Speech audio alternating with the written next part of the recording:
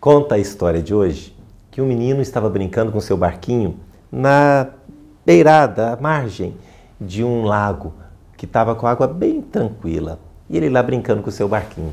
Quando ele distraiu um pouquinho, o barquinho foi se afastando, de forma que ele já não conseguia alcançar o barquinho.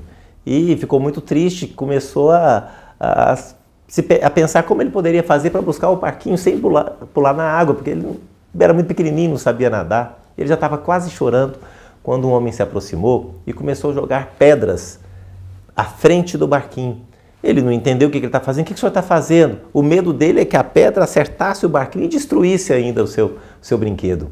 Mas ele percebeu que a pedra era jogada à frente do barquinho, ela caía na água tranquila e calma do lago, produzia uma ondinha e essa ondinha começou então a empurrar o barquinho de volta para a margem. Ele pegou o barquinho agradecido e ele ficou impressionado com a forma como aquele homem pôde ajudá-lo.